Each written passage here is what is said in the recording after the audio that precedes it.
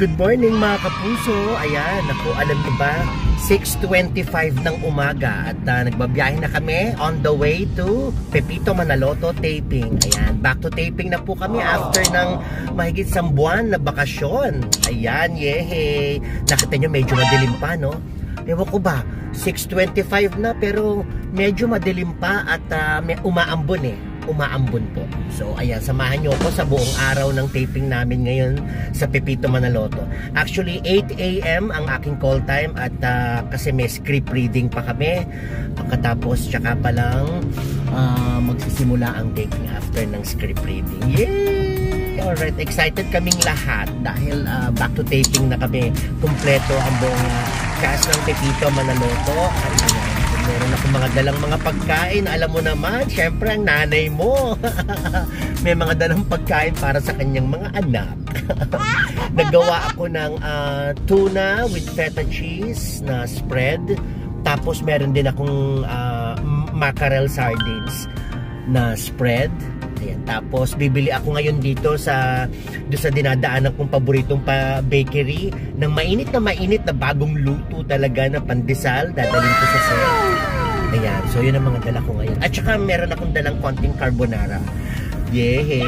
Excited ako! So ayan, bumibili muna ng pandesal si Kuya JC.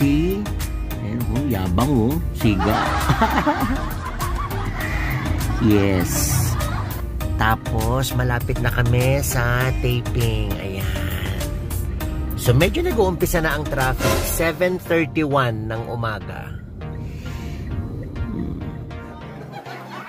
So, eto, Pampabuenas, di ba? Napakagandang blessing. Oh, nagkaroon na naman kami ng award na Best Comedy Show at syempre Best Actress naman ang aming si Ma'am Elsa. Congratulations! Yay! Isa yan sa mga nagpapasaya talaga ng umaga namin. Yung mga maraming magagandang blessings na dumarating. Umaga pa lang, simula pa lang yan ha.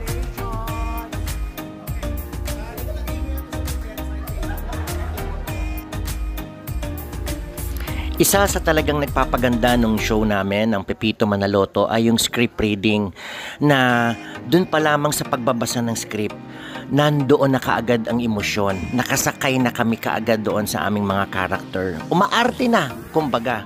Kaya kapag nabasa mo na yung uh, buong storya, alam na namin yung takbo at alam na namin syempre kung saan kami uhugot ng aming mga emosyon. Nakakatawa man to o drama.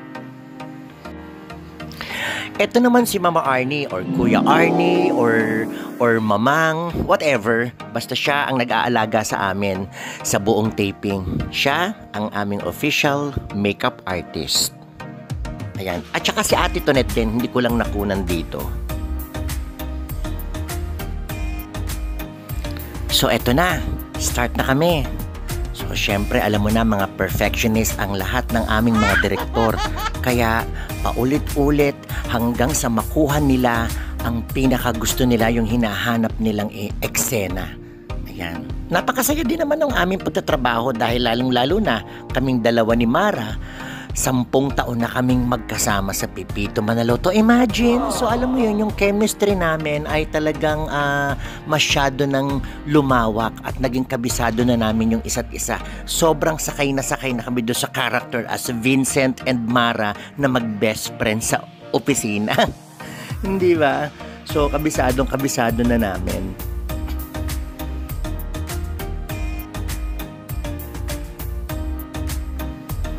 So ayan minsan pag makikita ninyo ako para akong baliw, salita ako ng salita, kahit wala akong kausap. Kasi nagpa-final rehearse ako nung aking gagawin. So kahit wala akong kausap, wala akong kaharap, sige tira, talak, talak, talak. O syempre, pawis na pawis ka, ba? Naliligo ka sa pawis. Tissue, tissue, tissue. Hmm. Kaya talagang napakasaya ng uh, aming uh, palabas dahil uh, alagang-alaga kami ng lahat. Ginagawa ng bawat isa ang kanilang mga trabaho. Kaya naman, nagiging mabilis at saka relax ka dahil uh, alam mong merong mga nakapaligid sa'yo na inaalalayan ka rin bilang artista. Ba? Mm-mm, hindi ka basta, o sige, umarte ka lang dyan. O, tapos ka na, okay na. Wala kaming ganon. Hindi pwede ang pwede na. Hmm.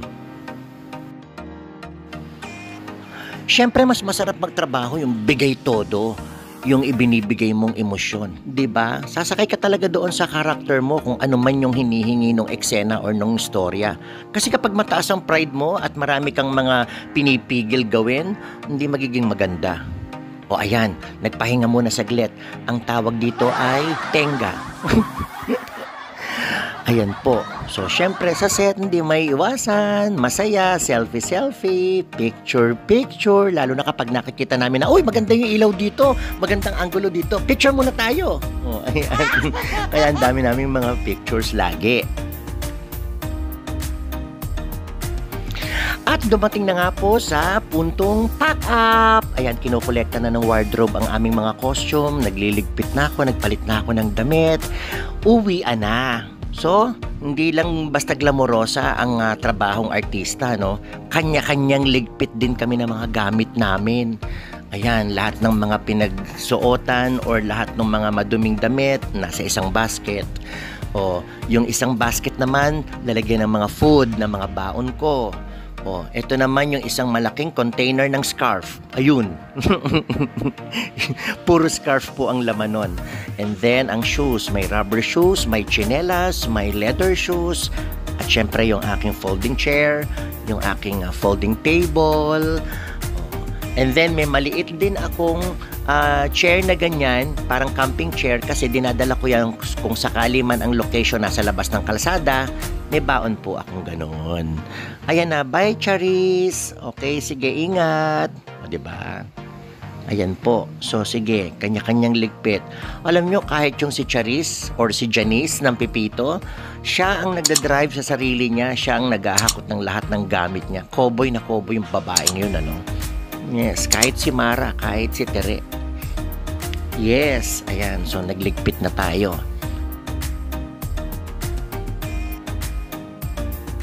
So, ayan po ang buhay artista ni Vincent. Yehey, pauwi na kami. Ang oras ay 11.21 ng gabi. Alright? Good night, everyone. Ayan, thank you, Kuya JC. O, diba? Salamat po. So ayan na po mga kapuso, ang isang buong araw ng aming taping sa Pipito Manaloto. At syempre, looking forward na naman kami next week para magkita-kita para sa susunod naman na taping.